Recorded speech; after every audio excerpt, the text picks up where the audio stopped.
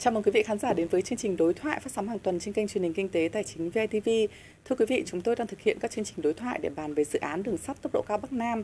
À, trong các số trước, với những số liệu đưa ra từ báo cáo giữa kỳ, à, báo cáo tiền khả thi của dự án đường sắt tốc độ cao Bắc Nam thì chúng tôi cũng đã cung cấp một số những con số à, tới cho quý vị khán giả liên quan đến việc vốn và phân kỳ vốn. À, gần đây nhất thì Bộ Giao thông Vận tải đã có những cái ý những um, ý kiến và rất là mong muốn nhận được những cái đóng góp từ phía các chuyên gia cho báo cáo cuối kỳ và trong số đối thoại này chúng tôi rất là mong muốn là chúng ta sẽ có thêm rất nhiều thông tin từ các chuyên gia để bàn về những số liệu liên quan đến vốn và phân kỳ vốn trong báo cáo cuối kỳ đang được đưa ra để lấy ý kiến và hy vọng là sẽ đóng góp rất nhiều thông tin cho những người làm chính sách cũng như những người đang quan tâm tới dự án này. À, tham gia chương trình đối thoại tuần này tôi xin được giới thiệu sự có mặt của các khách mời. Ông Đào Huy Giám, Tổng thư ký Diễn đàn Kinh tế Tư nhân Việt Nam. Bà Bùi Thị Lệ Phương, Tổng giám đốc công ty tư vấn tài chính kế toán thuế Semtex. Ông Phan Đức Hiếu, Phó Viện trưởng Viện Nghiên cứu Quản lý Kinh tế Trung ương. À, vâng, trước là chúng tôi cảm ơn các khách mời đã đến với trường quay đối thoại và sau uh, trước khi mà chúng ta thảo luận về chủ đề này về những con số đặc biệt liên quan đến vốn và phân kỳ vốn trong báo cáo cuối kỳ đang được lấy ý kiến thì xin mời các vị khách mời cùng quý vị khán giả đón xem một phần tổng hợp sau đây của chúng tôi. Nếu như trong trường hợp mà nhà nước vừa phải bỏ tiền ra đầu tư hoặc là các nhà đầu tư nếu nhà nước bỏ tiền ra đầu tư thì nhà nước sẽ thu dần và trong trường hợp này thậm chí nhà nước phải bù lỗ cho đối với cả các hoạt động còn nếu trong trường hợp của các nhà đầu tư thì 100% hoặc là các nhà đầu tư làm từ thiện hoặc là nhà nước vẫn phải bù lỗ cho cái phần mà không để giá đội lên quá cao. Thế thì trong trường hợp này thì rõ ràng là các nhà đầu tư họ cần phải đảm bảo về lợi nhuận. Vậy thì cái phương pháp và phương án khai thác hiện nay thì tôi cho rằng như này. Chúng ta có phương pháp uh, hoạch định vốn này, huy động vốn này, thậm chí là loại hình vốn này. Rồi thậm chí là chúng ta trọng điểm vào một số các đối tượng chúng ta có thể là phát hành trái phiếu trong nước thậm chí chúng ta phát hành trái phiếu nước ngoài dựa trên nguyên tắc là chúng ta chuyển hóa đầu tư uh, trực tiếp. Cho dù bất kỳ hình thức nào đi chăng nữa thì về mặt bản chất họ phải đảm bảo lợi nhuận. Vậy thì giá trị đảm bảo lợi nhuận ở đây sẽ được đảm bảo lợi nhuận bằng cho họ và bằng bù lỗ giá trị đảm bảo lợi nhuận hay là phương án khai thác dài hạn. Thì cái này là tôi tôi chưa thấy đề cập rõ. Đó. tôi nghĩ rằng tư nhân Việt Nam người ta mới tính được những cái loại giờ đầu tư đến độ khoảng 15 năm đến 20 năm thu hồi vốn đã là quá khủng rồi. Tôi nghĩ là như vậy. Chứ còn để mà 50 năm rồi mới bắt đầu hòa vốn thì, thì người tư nhân Việt Nam tôi nghĩ rằng là không ai nghĩ đến. Cho nên cái vấn đề huy động vốn trong nước là khó khăn. Tư nhân trong nước là khó khăn. Họ có thể làm một phần nào đó như nhà ga hoặc là để khai thác dịch vụ ở ga hoặc là cái A cái B cái C rất nhỏ. Dạng như ở nhà thầu. Kiểu nhà thầu. Nhà thầu phụ như anh Sơn vừa nói. Thế thì nó lại phát sinh ra vấn đề pháp lý là anh được quyền đến đâu. Và nếu xảy ra, người đầu tư, người ta quan tâm hai cái là lợi nhuận và rủi ro. Thế thì lợi nhuận thì tôi chưa nhìn thấy đâu, rủi ro tôi nhìn thấy rồi. ODA là dễ nhất. Trong tất cả bốn phương án đưa ra, tôi thấy rằng ODA là dễ nhất. Khó, nhưng mà so với ba phương án kia là dễ. Thế nhưng ODA ODA của ai? Và họ đầu tư với điều kiện gì tránh tình trạng hiện nay một loạt các đầu tư ODA của Trung Quốc ở trên thế giới đều bị dừng. Hầu hết các nhà đầu tư, cho dù là FDI nước ngoài hay là đầu tư tư nhân trong nước, thì họ quan tâm đến đó là bài toán lợi nhuận. Có lợi nhuận hay không và cái tỷ suất sinh lời là bao nhiêu và thời gian mà họ hoàn vốn là bao nhiêu những những cái đấy là họ rất là quan tâm và một cái quan trọng nữa như ông Ngộ đã nói là đó là rủi ro. Đúng không ạ? Cái mà rủi ro mà hiện nay ở Việt Nam chúng ta thấy có rất là nhiều vấn đề Vậy thì làm thế nào để cho chúng ta khi mà chúng ta làm truyền thông về đầu tư dự án này nó phải đảm bảo cho các nhà đầu tư cảm thấy an toàn khi mà họ đầu tư Việt Nam và nó có sinh lời? Thì tôi cũng có một số cái góp ý ví dụ như là đối với nhà đầu tư tư nhân ví dụ đối với các công ty logistics của Việt Nam tôi đi gặp rất là nhiều. Thì ví dụ đợt vừa rồi tôi cũng có đi vào German Dev hay là Transimex cũng hỏi họ vấn đề là à, tại sao thì không đầu tư vào đường sắt? Trong khi đó họ đầu tư vào cảng biển rất là nhiều. Thì họ cũng có nói rằng họ hơi ngại ngần khi họ đầu tư vào đường sắt về vấn đề liên cơ chế quản lý vấn đề sở hữu. Và gần như là có một cái gì đấy họ ta cảm thấy là chưa minh bạch và chưa rõ ràng. Thì đối với các nhà đầu tư tư nhân thì bao giờ họ cũng quan tâm đến sự minh bạch và rõ ràng cũng như là sự hiệu quả tài chính của các dự án mà họ sẽ đầu tư. Vì vậy rất là mong là ờ, cơ quan quản lý nhà nước cũng như các cơ quan liên quan có thể phối hợp với nhau để ra được một cái uh, gọi là đánh giá dự án đầu tư một cách là hiệu quả an toàn và nó phải chính xác. Cái đấy rất là quan trọng vì nó tạo ra một sự an toàn cho toàn bộ dự án sau này.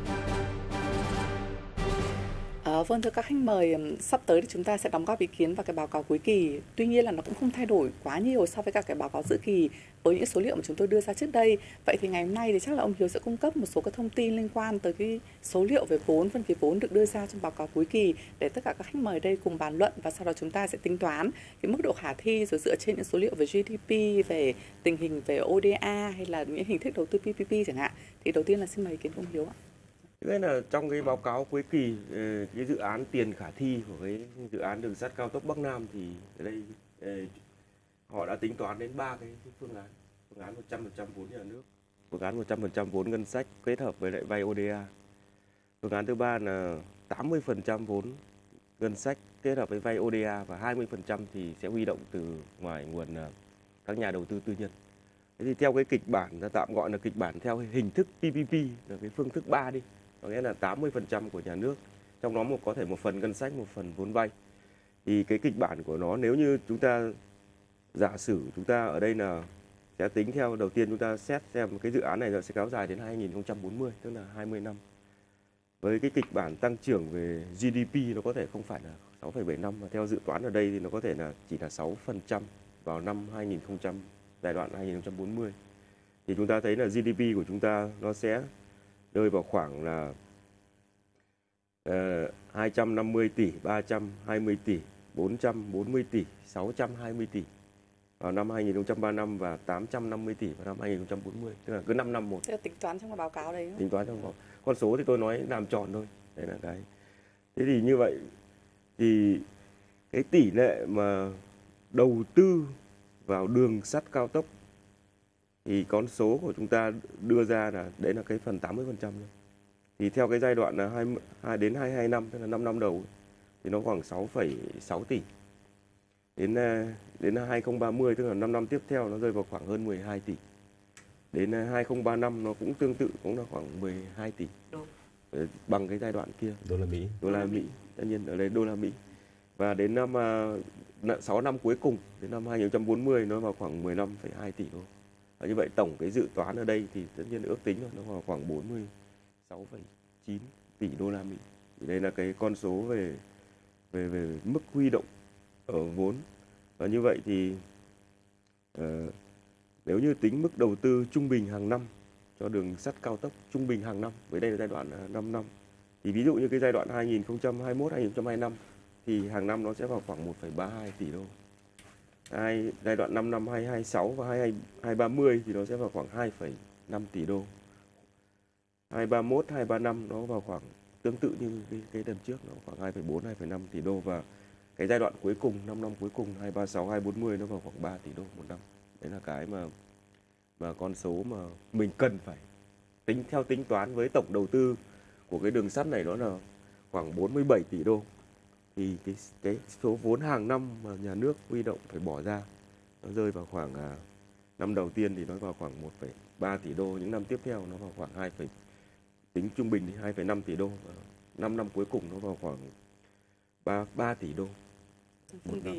Đấy là cái mà chúng ta tính toán với theo phương án theo phương án là nhà nước 80 và tư nhân là 20. Vâng. Vậy với sự với cái số liệu về GDP của Việt Nam hiện nay với tốc độ tăng trưởng rồi rất là nhiều yếu tố về kinh tế vĩ mô ấy thì con số này có phải con số quá lớn không ạ? Ông dám thế nào? Trước khi nói về con số thì uh, xin phép cho tôi nói về uh, nhận thức về cái, việc uh, quản lý cái đồng vốn như thế nào. À, trong suốt quá trình mà làm hội nhập mấy chục năm qua thì chúng tôi cũng đã thấy rằng mình có một số sai lầm tức là mình bị nhận thức trong đầu về cái chuyện là à, những công trình hạ tầng dứt khoát phải là nhà nước quản lý và dứt khoát phải vốn nhà là nhà nước. Chẳng hạn như là thông tin viễn thông chẳng hạn như là à, cảng biển. Và bây giờ trường hợp này chúng ta đang bàn là về đường sắt cũng như có thể là đường bộ. Vì trong đường bộ thì chúng ta đã tự nhiên hóa rồi. Và chúng ta đã ờ, ờ, uh, uh, PPP rồi BOT vân vân. Là chúng ta uh, và giao cho tư nhân quản lý rất nhiều. Trong uh, hạ tầng đường hàng không thì chúng ta cũng không phải là hoàn toàn vốn nhà nước mà chúng ta cũng mỗi ngày đi theo một xu hướng tư nhân hóa. Thì tôi nói thực là này tức là mặc dù con số này là không lớn không lớn ở chỗ này tôi nói thực là ngay từ cái hơn 100 năm người Pháp người ta đã đầu tư đường sắt trên nước ta trong điều kiện thu nhập vô cùng thấp bằng công ty tư nhân. Cái thứ hai là chúng ta đầu tư này nếu mà đầu tư nói thực là nếu đầu tư theo phương án giải ra trước hết dựa phương án là trong 18 năm với số vốn như anh Hiếu vừa công bố là 47 tỷ đô la Mỹ tính toán cụ thể ra là mỗi một năm uh, trung bình là 2,6 tỷ đô la Mỹ mà hội năm nay chúng ta có cái GDP sấp xỉ 250 tỷ đô la Mỹ. Đến như đến 2040 chúng ta có GDP vào khoảng trình độ 850 50 860 tỷ đô la Mỹ theo tính toán. Tôi cho là có thể hơn Mỹ nữa. Nếu tôi nếu tôi là người tính toán. Thì mà điểm xuất phát là năm 2020 đi thì là lúc ấy chúng ta có khoảng chừng sấp xỉ 280 tỷ đô la Mỹ GDP một năm. Thì nhu cầu khoảng trình độ 2,6 2,7 tỷ đô la Mỹ trên cái nếu so với vốn ờ, của GDP của năm 2020 thì là chúng ta dưới 1%. Mà nếu so với GDP của năm 2040 thì nó lại chỉ còn à, vào khoảng trình độ 0,36 0,38% à, của tổng GDP mà mỗi năm. Tuy nhiên mà nói con số này có thể lại rất lớn nếu chúng ta quản lý không tốt. Bởi vì thứ nhất ấy, là tiền là tiền của nhân dân, tiền của từng doanh nghiệp đóng góp. Cho nên nếu như hiện nay chúng ta thấy rằng các doanh nghiệp nước quản lý không tốt và tính bấp bênh trong cái quản lý rất là kém, tính minh bạch cũng kém và năng lực quản lý trong khai thác để đạt được hiệu quả kinh doanh lại cũng kém. Cho nên tôi xin phép tôi nói lại điểm thứ nhất là sự tham gia của khu vực tư nhân kể cả khu vực nước ngoài của ờ, đầu tư nước ngoài về mặt quản lý và hiệu quả quản lý lại là nhất là trong điều kiện mà chúng ta đi đang đi vào công nghiệp hóa đang đi vào chuyện là điện tử hóa và công nghiệp 4.0 công nghệ 4.0 thì cái năng lực quản lý với khai thác công nghệ 4.0 và trí tuệ nhân tạo trong điều hành ấy, lại vô cùng quan trọng và rất quyết định. Và điểm thứ hai tôi thấy ở đây là tôi lần trước tôi được tham gia cảm ơn chị Phương Chi. Tôi cũng đề xuất là nếu chỉ thuần nhìn vào vấn đề khai thác uh, hành khách thì tôi thấy nó rất quá mất cân đối. Tại vì này chẳng lẽ chúng ta định xây một tuyến đường sắt nữa chúng ta làm riêng cho cái chuyện là vận tải hàng hóa. Tuyến đường sắt cũ đang cải tạo đấy nè. Ừ, theo theo phương án này theo thì sẽ tiếp này, tục vâng. tức là có hai hai hai việc phải làm vừa cải tạo cái cũ theo tôi đấy Để cũng là tư duy ông chí tư duy ông chí là như này cái cái cũ mà dựa trên cái hiện tại trạng hiện nay là không thể nào có thể chuyển sang vận tải hàng hóa được. Bởi vì dựa trên một cái nền cốt rất là thấp và đi đan xen trong khu vực dân cư. Cho nên cái việc là chúng ta chuyển cái cũ theo cái nào thì ta chưa tính. Nhưng mà cái mới gần như là phải, khi nó lên thì về cơ bản nó đã phải xóa bỏ cái cũ. Còn khi cái cũ đó thành phương án bổ sung như thế nào mới tính. Cái thứ hai là nếu như khai thác về mặt hành khách thuần túy thì theo tôi là không có phương án nào để có thể có được hiệu quả kinh doanh ngay trên cả cái một tuyến dài hàng mấy nghìn cây số bởi vì đứng về mặt kinh tế, kinh doanh, chúng tôi hình dung là đất chúng ta vào, hiện nay là khoảng chừng độ trên 300 triệu tấn hàng hóa xuất nhập khẩu mỗi năm, không kể lưu thông trong nước. Thì nhu cầu lưu thông nước vận tải rất là lớn và vận tải đường sắt, hàng hóa với tốc độ 160 cây số giờ trung bình là rất là phù hợp ở tất cả các nước. Và hiện nay trên toàn thế giới cái việc đó vẫn được khai thác một cách phổ biến. Và trong kinh doanh, thậm chí anh chỉ tăng thêm có vài phần trăm thu nhập thôi, thì có thể biến từ lỗ sang lãi. Và thậm chí vận tải hàng hóa có thể đóng góp được có thể đâu đó trong cái khoảng từ 20 đến 40 45 phần trăm việc khai thác các cái tuyến tàu như thế này. Cho nên là việc đặt vấn đề khai thác riêng và thẻ hàng hóa làm cho khó ra. Do vậy thì tôi cho là vốn như thế này là không lớn. Nếu như chúng ta khai thác có hiệu quả mà thậm chí là uh, nên đặt vấn đề rằng khu vực tư nhân tham gia quản lý và đưa ra phương án về việc sử dụng vốn trong đó có vốn nhà nước tham gia vào công ty kinh doanh khai thác kể mặt xây dựng hạ tầng cơ sở quản lý điều hòa cái hệ thống và à, à, với những cái cấu thành của nó từ là hạ tầng cơ sở đến điều khiển đến tàu và đến việc riêng quản lý không đã là một cấu thành. Nó không mang tính chất là sờ thấy nhìn thấy nhưng thực chất nó lại là một cấu thành thậm chí quan trọng nhất trong toàn bộ tổng thể nội dung này. Thì như tôi trả lời ngắn gọn tạm thời là nên điều thay đổi nhận thức nên thay đổi cái, cái nên giao cho một bộ môn đề ra phương án về quản lý kinh doanh và tăng cường nhân tố tư nhân đặc biệt trong quản lý. Và số vốn này nếu làm được như thế thì lại là không lớn và theo tôi một điểm nữa là nhà nước dứt khoát phải làm một việc là giải phóng mà hạ hạ mặt bằng. Và quan niệm về giải phóng mặt bằng dứt khoát là không nên quan niệm là chỉ có riêng có mỗi cái tuyến trên tuyến đường, mà các cái khu ga, khu hạ tầng logistics gắn liền với cái tiến trình này là nhân tố căn bản. Thì được như thế thì số vốn này sẽ có tư nhân tham gia nhiều và vốn sẽ giảm nhẹ đi nhiều và không lớn, và nên làm ngắn hơn. Càng làm dài thì lỗ càng có khả năng lớn, và càng làm ngắn càng có khả năng có lãi. Được. Thôi thì đúng là nếu mà nhìn vào cái bức tranh về con số đơn thuần là số về tài chính như thế này mà nếu nó diễn ra đúng như thế này nếu mà nó diễn ra đúng như thế này thì đúng là các nhà kinh tế như anh dám nói thì cũng không phải là là vấn đề quá lớn về vấn đề về mặt ờ, tài chính đúng là cái mặt đầu tiên. Nhưng kinh nghiệm của thế giới cũng như kinh nghiệm của của nước ta thì, thì đều cho thấy rằng là ngay cả những cái công trình mà nó không thực sự là đòi hỏi những cái kỹ thuật rất cao và công trình này thì người ta luôn các nhà chuyên gia luôn nhấn mạnh đến đây là một cái công trình mà kỹ thuật rất cao.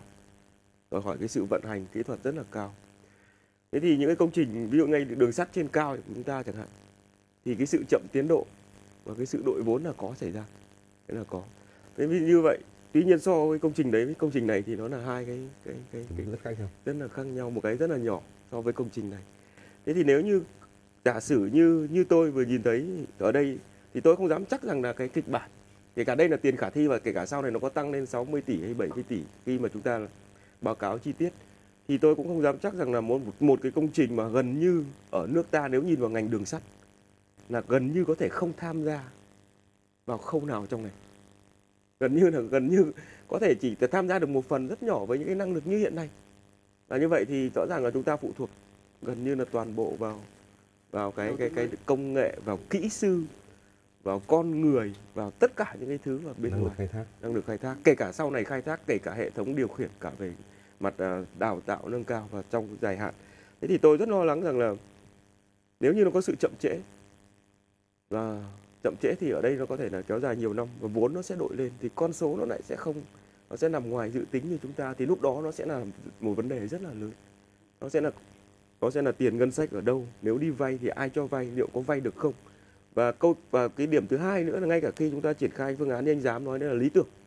Nhưng ngay cả khi ở Đài Loan anh chị biết là Đài Loan cũng có trong báo cáo cũng đã nói là Đài Loan cũng thất bại trong cái việc mà huy động tư nhân. Và sau đó huy động tư nhân thấy không không hiệu quả thì họ bỏ. Họ bỏ thì nhà nước lại phải Gánh. gánh. Mà nếu không gánh thì có nghĩa là bỏ dở cả một dự án. Thế thì ở đây thì tôi cho rằng là trong cái con số như vậy nhưng mà rõ ràng là chưa chỉ ra được những cái yếu tố rủi ro liên quan đến cái vấn đề về vốn thì chúng tôi cũng rất là ờ, quan ngại rằng là liệu nó có kịch bản nó có diễn ra đúng như này hay không? Nếu diễn ra được đúng như thế thì quá là còn nếu như nó không diễn ra đúng như này mà nó đội lên gấp đôi hoặc gấp ba thì đây là cả một vấn đề rất lớn chứ không hề đơn giản. Vâng. quan điểm của tôi thì như thế này. Nếu mà xem trong cái bảng tính toán này thì cái tổng vốn đầu tư ờ, nó chiếm cũng không phải là quá cao so với lại GDP và đồng thời là cái tỷ lệ đầu tư cho cơ sở hạ tầng so với đầu tư đường sắt này cũng không phải là quá cao. Nó chỉ chiếm những cái hàng năm ấy có những năm cao nhất chỉ là 10% thôi so với lại tổng cái đầu tư cơ sở hạ tầng. Cho nên tôi cho nó không phải là quá cao so với lại cái khả năng uh, về cái việc mà bố trí vốn ngân sách và vốn đầu tư của mình. Tuy nhiên cái mà chúng tôi lo ngại thì cũng giống như anh hiếu nói tức là liệu rằng cái dự án này nó đã tính được toàn bộ những cái chi phí bỏ ra hay chưa? Đấy là điều thứ nhất. Bởi vì ở đây ấy, thì chúng ta chưa thấy cái chi phí như anh hiếu nói từ chi phí đào tạo chi phí mà mà mà về nhân lực. Cho cái việc mà khai thác và vận hành cái đường sắt trên cao này vì rõ ràng nó cần cái kỹ thuật cao. Đấy là điều thứ nhất này. Điều thứ hai nữa là cái cái cái cái có thể nói là cái thông lệ của Việt Nam là các cái dự án mà kéo dài là đều bị tăng vốn vậy thì cái phương án này nó có bị ảnh hưởng hay là có bị rơi vào cái cái nếp cũ như thế không? Mà cái tăng vốn không phải là ít tăng có những cái trường hợp mà tăng lên hàng nhiều lần chứ không phải là tăng ít. Đội vậy gấp đôi vâng, gấp ba vốn gấp đôi gấp ba là chuyện bình thường. Vậy thì cái vốn này đã được tính toán thứ nhất là đầy đủ chưa? Thứ hai là đã tính đến cái việc mà trượt giá hay chưa? Và cái điều nữa tôi cũng lo lắng đấy là cái các cái phương thức khai thác khai thác ấy, chưa được đề ra một cách đầy đủ để từ đó chúng ta nhận thấy rằng cái việc khai thác như thế thì cần cái nguồn lực như thế nào. Và như anh anh anh anh Dám. dám nói là cái việc mà nếu chúng ta kết hợp với logistics thì rõ ràng cái ga logistics nó khác hẳn với cái cái ga của hành khách. Và chúng ta lại phải có cái gì ạ? Có cái đầu tư cơ sở hạ tầng cho cái ga logistics. Và một cái điều nữa tôi cũng lo ngại rằng ở trong phương án này này cái khai thác người ta chưa đề cập đến cho nên nếu như nó là vốn tư nhân hay tư nhân hóa cái vốn đầu tư này thì chúng ta không nhìn thấy cái thu hồi vốn nó nằm ở đâu. Và cái việc thu hồi vốn ấy, thì theo quan điểm của tôi, nếu đầu tư dài hạn như này mà chia ra nhiều giai hạn đoạn, thì ít nhất giai đoạn 2 đã có cái thu hồi vốn của giai đoạn 1 và từ đó chúng ta sẽ bù đắp được cái vốn đầu tư bỏ ra như chúng ta tính toán ban đầu. Thì cái này không có tính toán đến. Thì đấy là nếu như một cái phương án mà chúng tôi xem xét những cái nghiên cứu khả thi, chúng tôi đều phải xem xét rất kỹ cái thu về, cái bỏ ra để cân đối cái nguồn vốn của mình thì cái này tôi không nhìn trong này thì trong báo cáo thì họ cũng có tính đến cái hiệu quả. Thì cái hiệu quả kinh tế của cái dự án này thì gọi là cái thu hồi vốn thì sẽ không cao. Vâng không đấy là cái việc đầu tiên. Nhưng người ta tính đến những người ta nói rằng là tính đến những cái lợi ích khác. Lợi ích xã hội mà. Các lợi ích xã hội khác để sau khi nó có được cái này nó, nó làm cho con người di chuyển dễ hơn. Vâng. nó làm cho kết nối Vâng. giữa các địa phương tốt hơn vân vân. Vâng. nhưng mà như thế này nhưng mà cũng trong cái vì đây là một báo cáo tóm tắt tiền Vâng. khả thi nhưng mà thực ra mà nói thì những cái cái cái cái cái gọi là lợi ích gián tiếp đấy cũng khó có thể nói là cá nhân tôi thì thấy rất là khó nhưng hiện nay nếu như giả sử như chúng ta nhìn thấy nếu đây là một cái đoàn tàu chở hàng Vâng. thì chúng ta có thể dễ dàng nhận thức rõ hơn đấy là một cái lợi ích kinh tế nhưng đây là một cái đường sắt mà chuyên chở vận tải hành khách là người thì những cái lợi ích rõ ràng là nó cũng sẽ có nó sẽ có những cái sự phát triển kinh tế xã hội kéo theo nhưng theo tôi là nó cũng sẽ không thể nó sẽ nó sẽ nó sẽ bỏ đi bớt một cái phần ta gọi tạm gọi là cái lợi ích từ cái việc vận chuyển Lợi hàng hóa từ ừ. cái cái lợi ích về logistics Không nhưng mà ừ, thực ra thì quan điểm tôi này đã có cái sự tham gia của vốn tư nhân đúng không anh Giám? Thì nó phải có cái thu hồi vốn. Còn cái phần mà đầu tư của nhà nước ấy thì chúng ta sẽ coi như đây là một cái đầu tư công, đầu tư cơ sở tầng. Nhưng cái đầu tư tư nhân á, thì rõ ràng nó phải có thu hồi vốn. Đấy là điều thứ nhất. Điều thứ hai tôi cũng đồng ý với anh là nó mang lại cái lợi ích xã hội. Nhưng cái lợi ích xã hội này nó sẽ làm tăng trưởng GDP và nó ảnh hưởng như thế nào đến cái việc tăng trưởng GDP? Bởi vì rõ ràng một cái tuyến đường sắt dài từ Bắc vào Nam không thể nào không nói là không tác động đến cái phát triển kinh tế. tôi cũng đồng ý với ý kiến anh anh, anh dám có lẽ là bây giờ lo lắng nhất của chúng ta là liệu con số này nó có diễn ra đúng như kịch bản không? Theo như đúng đấy là việc đầu tiên. Thế thì như vậy việc tiếp theo tôi nghĩ rằng là cũng nên nên bàn theo cái cách anh như anh dám nói rằng nếu như bây giờ nhà nước đầu tư thì kinh nghiệm thực tế đã cho thấy nhà nước là trực tiếp đứng ra đầu tư đã cho thấy rằng là nó hoàn toàn có thể các cái chủ đầu tư của nhà nước hoàn toàn nó có thể bị chậm tiến độ có thể bị kéo dài. Và đấy mà quốc tế họ cũng chứng minh cho một dự án đầu tư của tư nhân bao giờ nó cũng nhanh tiến độ hơn hoàn thành đúng hiệu quả và đúng theo dự toán. Còn Vâng. kể cả các nước khác thì dự án đầu tư nhà nước nó cũng chậm hơn và vẫn có cái xu hướng bị tăng cái tiến độ đầu tư. Thì tôi cho rằng là có lẽ mình cũng trong cái trong những cái phương án này phải tính đến một cái phương án là thế thì làm cái cách thức triển khai theo tôi là cách thức triển khai ở đây có nghĩa rằng là không chỉ huy động cái nguồn vốn của tư nhân vào tham gia cùng đầu tư nhưng ngay cả cái cách thức triển khai có nhà nước triển khai để xây dựng.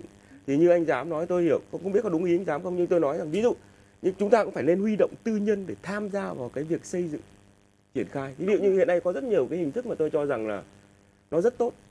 Đây ví dụ như ở Hàn Quốc chẳng hạn như gần đây tôi cũng thấy họ có một hình thức BL tức là thay vì nhà nước làm chủ đầu tư, nhà nước thực hiện tất cả các cái công đoạn của quá trình đầu tư đó, thì họ sẽ giao cho một, họ sẽ đấu thầu để có được một doanh nghiệp tư nhân. Doanh nghiệp tư nhân sẽ trực tiếp xây. Trực tiếp xây thì nhà nước xây xong có công trình và đồng thời sẽ cho họ tiếp tục vận hành cái công trình đó. Thế như vậy, doanh nghiệp tư nhân nó có một cái động lực thế này. Họ xây và họ phải vận hành và bảo dưỡng. Thì như vậy cái chất lượng họ luôn luôn phải đặt là số 1 vì nếu như chất lượng tốt thì sau này họ bảo dưỡng tốt thì nhà nước sẽ giảm được rất nhiều những cái thủ tục và những cái rủi ro là nhà nước sẽ trả tiền cho họ một cục. Tức là nhà, tư nhân dây gần như nhà nước mua công trình.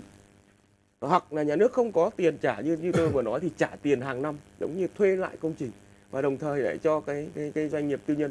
Nên tôi nghĩ đấy chỉ là một phương thức nhưng tôi nghĩ rằng là có lẽ dự án này để để để để giảm thiểu những cái rủi ro như như chúng ta lo lắng là rủi ro về đội vốn rủi ro về chậm tiến độ rủi ro về chất lượng công trình.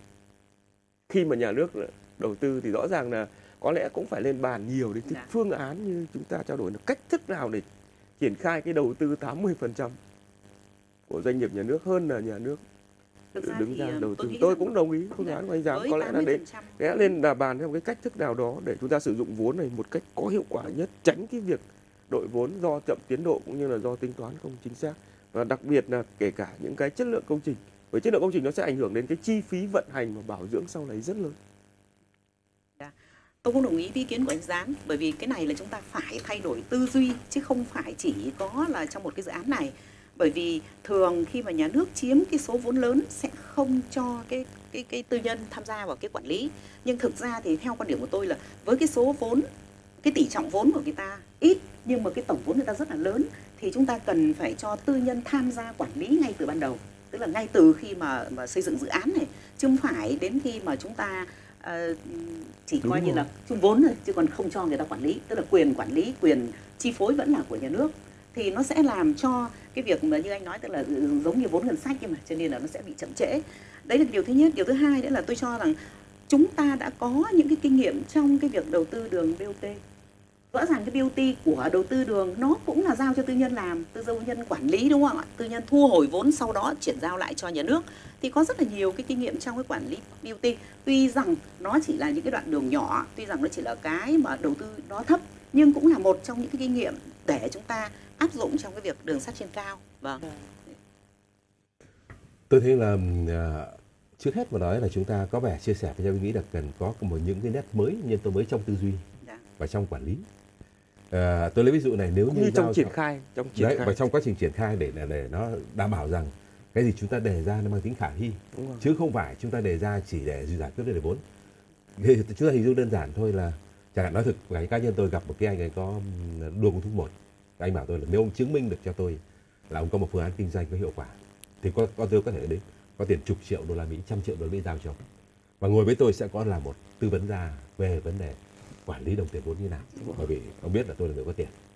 Thế nhưng mà ngay đơn giản trong cuộc sống hàng ngày chúng ta thôi mà nếu như mà một triệu mà nếu như không chứng minh được cái tính hiệu quả và mục đích của nó cũng không chi mà cần bán cả nhà đi để làm một cái việc một cái dự án rất lớn là chúng ta cũng sẵn sàng là bán nhà để chi vào những việc mà nó có hiệu quả trong tương lai dài hạn. Thì việc đấy đúng là như thế là chọn phương thức là bao yếu tố quyết định.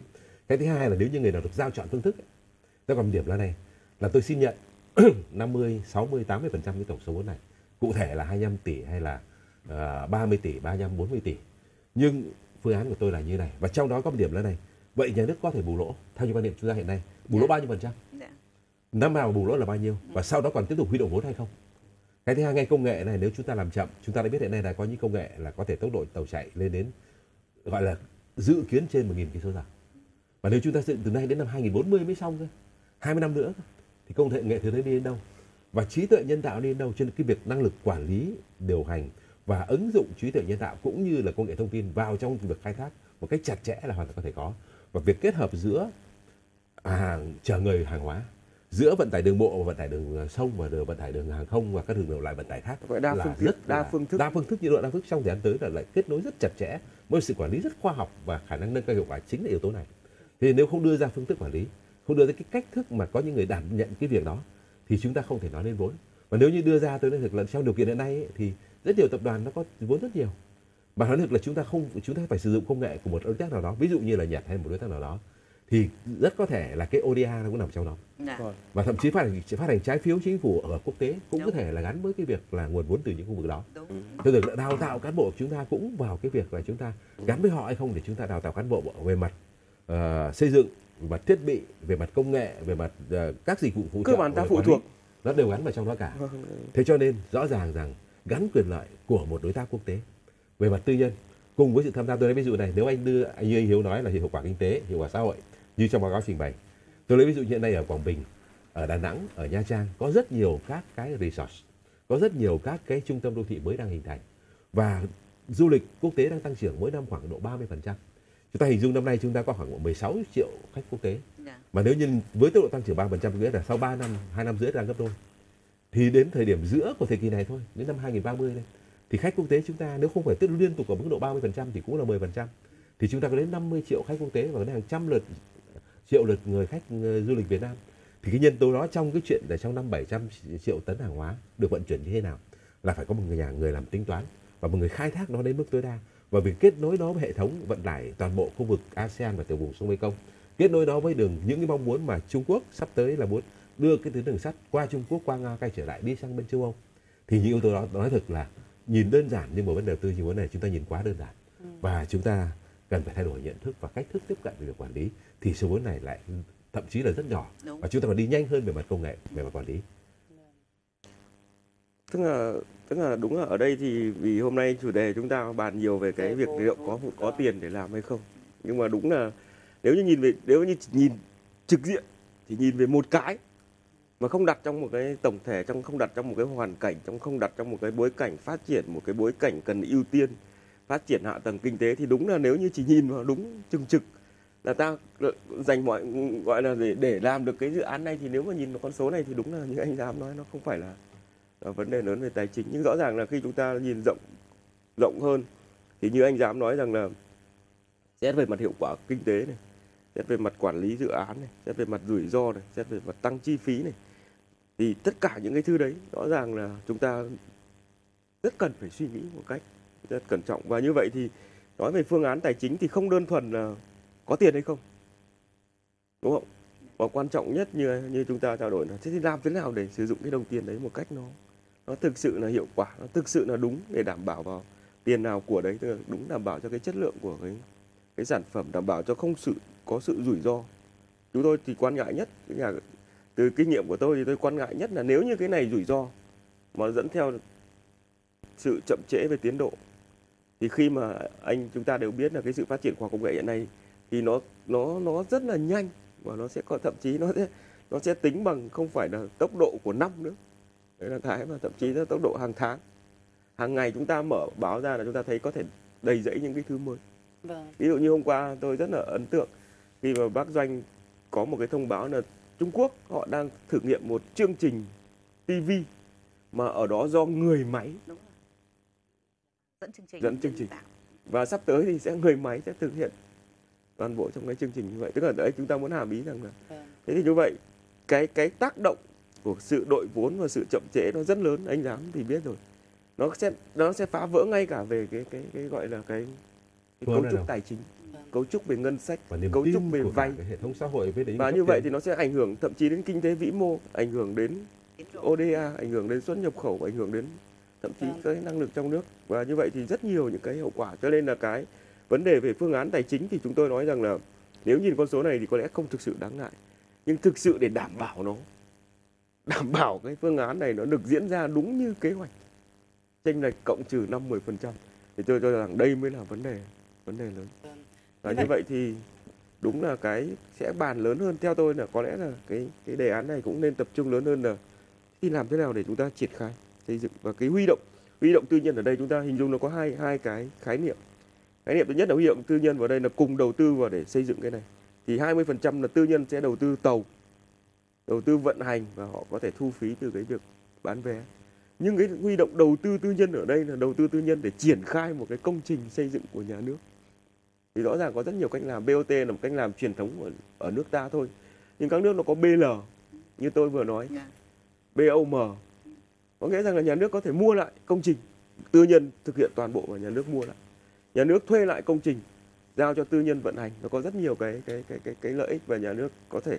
Như vậy nhà nước bỏ tiết giảm được rất nhiều những cái cái cái chi phí về mặt rủi ro như tôi vừa nói. Chi phí Vâng. ở đây là chi phí liên quan đến cái vấn đề về rủi ro Đúng là như vậy bởi vì bây giờ mới là báo cáo tiền khả thi thôi lại còn đang ở mới xong giữa kỳ bây giờ đang ở cuối kỳ Cuối nhưng tôi kỳ. nghĩ là sẽ còn rất nhiều ý kiến để chúng ta đóng góp. Tuy nhiên là với những cái thông tin đưa ra cái báo cáo cuối kỳ đang lấy ý kiến này thì ông Hiếu thấy là nó vẫn chưa thực sự đủ đủ sức tức là thuyết phục và làm cho chúng ta cảm thấy yên tâm khi với cái những cái con số hay những cái ý kiến đưa ra trong này. tức là cái ở đây Nó là chưa đủ. ở đây có nghĩa rằng là cái mà để chúng ta cân nhắc ấy, thì không chỉ đơn thuần đưa ra con số mà ngay cả chúng ta phải đưa ra được cái biện pháp các cái cách thức thảo luận khác nhau để làm thế nào cái con số này nó chỉ xảy ra như vậy trên thực tế Nhưng nếu nó nó, không chỉ dẫn- xảy ra như này trên thực tế thì là nó rất là khả thi đúng không ạ? Hoàn toàn nếu mà có thể nhìn nhìn vào con số này con nếu số mà không không quá lớn so với tổng GDP. tôi cho là con số này quá lớn với phương thức quản lý như đề xuất trong phương án vâng nếu như so với phương thức quản lý như đề xuất trong phương án thì quá lớn và thậm chí cũng quá rủi ro quá lớn Ừ. cho nên là phải kết hợp với số vốn thì phải có những phương án quản lý bền rõ ràng là phải bàn rất nhiều hơn vào các phương án quản lý cái số vốn và triển khai thực hiện cái số vốn này. Có lẽ quan trọng hơn rất nhiều với con số là chỉ đưa ra một con số vốn. Tôi có một ý nãy tôi đã trình bày mà phải chưa phân tích sâu hết cái ý đó là ờ, nó gắn với chuyện là nguồn vốn cũng như là quy hoạch. Tức là ví dụ như là chúng ta nhìn thấy rất nhiều đô thị trên tuyến đường đó mà nếu cho 20 năm nữa chúng ta xây dựng công trình này thì trên tuyến đường đó rất nhiều sân bay rất nhiều khu resort, rất nhiều đô thị mà có cái cỡ trên một triệu dân. Thì việc là cái tuyến đường sắt này nó kết nối như thế nào với hạ tầng cơ sở của các đô thị đó? Tôi nói rằng hiện nay là cái vai trò của Vinh khác hẳn với cái chuyện ít nữa là coi như là cái của Vinh, của Quảng Bình cũng thế, đồng hới là với bao nhiêu cái resort đang phát triển với Bamboo Airways nó phát triển hệ thống sân bay. Thế rồi là ở Nha Trang, ở ừ, Cam Ranh thì tôi nhìn thấy cái quy mô 20 năm nữa khu đô thị và cái nhu cầu đi lại giữa những vùng đó, đấy, nó có thể tăng gấp 5 gấp 10 lần và đồng thời nhu cầu về vận chuyển hàng hóa để phục vụ những cái tuyến đường đó nó phải khai thác rất là nhiều. Và những các hệ thống hạ tầng cơ sở liên kết nó hình thành. Thế thì ở đây tôi có một ý trong việc là này nó thực là xây dựng hạ tầng cơ sở thì phải nên là nhà nước, nhân dân và tư nhân cùng làm. Những ảnh hưởng lợi từ cái việc này nếu không nói là người dân đã thành rồi, nhưng còn những chuyện là những cái khu resort năm 10 cây số vuông, những cái thành phố mới hình thành, sẽ có những doanh nhân họ sẵn sàng tham gia góp vốn nếu như có một phương án là khả thi mà nó có yếu tố tốt mà thậm chí như anh Hiếu nói tôi rất ủng hộ phương án là gì? Là có những cái công sóc xem nó hoạt động. Tôi đồng ý tôi sẽ xây dựng cái hệ thống này. Mà trong thời gian không phải đến năm 2040 năm 2030 là xong. Thậm chí họ vì vì vì lợi ích của họ. Và tôi bán lại cho nhà nước giả tôi theo một cái tiến độ thanh toán như thế này. Và như đó là rất có lợi cho chúng ta. Nhưng để làm điều đó điều trước hết là chúng ta phải làm cái quy hoạch và giải phóng mặt bằng đất rất sạch. Cộng với quy hoạch là cái kết nối nó với những cảng biển cảng hàng không trung tâm đô thị ví dụ như là họ nó đi ngang qua mà coi như sân bay kết nối luôn lập tức với một cái tuyến tàu hỏa ờ, đi lên vạn như thế này, thì nó thật khác hẳn là cái chuyện anh chạy ào ngang qua, anh bỏ qua rất nhiều khu đô thị và khu sân bay. Cho nên là giải quyết những vấn đề về mặt quản lý tổng thể tích hợp như thế với một cái tư duy mới là phát huy vai trò của tất cả các khu vực, trong đó khu vực tư nhân với tính trách nhiệm của đồng vốn mình, chính mình bỏ vào, nó sẽ làm cho cái số vốn này là nhỏ. Và nếu theo như phương thức đề xuất trong phương án này và và với số vốn đặt ra này, tôi cho là rủi ro quá cao và chúng ta không thông qua được. Thực ra thì hôm nay vì hôm nay chúng ta chỉ bàn về vốn nhưng thực ra và nói thì các số trước tôi cũng xem. Vâng. nhưng thực ra thì chúng tôi vẫn cho rằng là những cái dự các kinh nghiệm của các nước ở trong báo cáo cũng đã chỉ ra là họ mất rất nhiều thời gian để thảo luận trước khi quyết định một cái dự án này. 10 năm năm 15 năm. Và thậm chí có rất nhiều, nhiều nước họ rất khôn ngoan là trong quá trình họ thảo luận. Thì họ cũng phải bản thân cái trong cái quá trình đó họ cũng tự nâng cao cái năng lực của họ để tự chủ một phần công nghệ có nghĩa là họ hàm ý rằng là cái dự án này cũng là một phần để thúc đẩy cái sự phát triển kinh tế tư nhân của họ. Có nghĩa là cái tư nhân trong nước ấy, nó phải có thực sự là nhiều nhất cơ hội có thể tham gia vào đây để từ đó họ thúc đẩy phát triển tư nhân trong nước chứ không đơn thuần là nhập khẩu từ bên ngoài. Vâng. đấy là cái mà cái cái cách tiếp cận. Tuy nhiên thì tôi vẫn muốn rằng là có lẽ trong cái đề án này thì ngoài cái phương án về tài chính thì như anh dám băn khoăn lúc đầu có có nói đến cái phương án về vận chuyển hàng hóa, thì tôi cho rằng là trong trong cái việc làm rõ cái sự cần thiết cũng như so sánh về lợi ích kinh tế của những cái dự án này, thì rõ ràng cần phải bổ sung một cái phương án bên cạnh cái phương án này. Để chúng ta đánh giá một cách toàn diện. Đó là nếu như đây chỉ là một phương, đồng, chúng ta loại bỏ cái phương thức là chúng ta một mặt nâng cấp cái hệ thống đường cũ để phục vụ cho vận chuyển hàng hóa và kết hợp với hành khách ở một chừng mực nhất định. Tuy nhiên đối với phương thức xây mới xây mới thì rõ ràng chúng ta cần phải cân nhắc đến một cái cái một hoặc một, hai phương án khác nữa. Đó là một là xây mới một hệ thống chuyên vận chuyển hành khách. Tốc độ cao như chúng ta vừa nói 350 km một giờ. Có thể có phương án thứ hai, đó là xây dựng một cái tuyến vận chuyển vừa hành khách vừa hàng hóa, thậm chí một tuyến đôi, đường sắt đôi với tốc độ 150 200 km một giờ. Ví dụ như vậy. Đấy là, rõ ràng thì tôi thì tôi vẫn mong muốn rằng là nên không chỉ không chỉ so sánh đường sắt với hàng không có nghĩa là đường sắt sau này sẽ là, là, là so sánh với hàng không mà đường sắt này phải so sánh với chính một số cái lựa chọn khác tương tự trong với đường bộ đường sắt chỉ là vận tải hàng hóa Ví dụ chỉ chiếm vậy. khoảng trình độ có nghĩa là đường sắt 60% chi phí của đường bộ. Thậm chí chúng ta phải có phương án đường sắt so sánh với đường sắt. Đường sắt của vận chuyển người so sánh với đường sắt vận chuyển hàng hóa. Như anh dám nói ban đầu tôi rất là đồng ý. Rõ ràng là trong cái phần mặc dù không phải là chủ đề chính nhưng tôi rõ ràng là trong cái phần mà làm rõ cái sự cần thiết đánh giá cái lợi ích và thiệt hại của các cái cái chỉ số về kinh tế văn hóa xã hội logistics phát triển khu vực kinh tế tư nhân thì rõ ràng theo tôi cần phải cân nhắc rộng hơn. Vâng. Như vậy quan điểm của chúng ta đều thống nhất rằng cái việc đầu tư đường sắt trên cao là cần thiết. Đường sắt tốc độ cao. Là tốc độ cần thiết. cao vâng. vâng tốc độ cao là cần thiết. Nhưng mà à, thứ nhất là chúng ta phải xem xét kỹ trên cơ sở quy hoạch tổng thể cả cái về các cái ờ, các cái loại hình mà vận chuyển lẫn cái các cái khu đô thị và các cơ sở tầng khác để kết hợp đồng thời là phải tính toán kỹ lưỡng hơn về vốn và quản lý và cái đầu tư khai thác. Vâng. Đó nghĩ là không chỉ đơn thuần là vốn tóm lại là không chỉ đơn thuần vốn mà các phương án để quản lý quản lý và khai thác. sử dụng cái vốn này một cách đúng như kế hoạch Dạ. giảm thiểu những rủi ro trong đội vốn giảm thiểu những cái chậm trễ trong cái tiến độ đảm bảo cái phương án để đảm bảo chất lượng của công trình ví dụ Vâng. như vậy thì những cái phương thức đấy rõ ràng cần phải thảo luận nhiều hơn là vấn đề chỉ đơn thuần đưa ra con số mà có thể chúng ta sẽ kéo dài thời gian trong cái việc mà thảo luận hoặc đưa ra cái nghiên cứu dự án khả thi này thậm chí có thể tăng thêm vốn nhưng kết hợp được tất cả những cái phương án trên thì chúng ta thấy vẫn cần thiết cho sự phát triển của đất nước. Thực ra thì tôi thì kéo dài thời gian thì có lẽ rằng thời gian bây giờ cũng rất là quan trọng. Nếu như chúng ta đẩy nhanh được cái thời gian thảo luận, nhưng đẩy nhanh thời gian thảo luận thì có nghĩa rằng là phải tính các cái phương án đưa ra nó phải tương đối nhiều, tương đối tổng thể, tương đối toàn diện và phải tính toán được đến tất cả các mặt, các cái cạnh. Tất nhiên đòi hỏi thì là lớn, nhưng nếu như không làm như vậy thì rõ ràng là cái rủi ro nó vẫn vẫn rất lớn.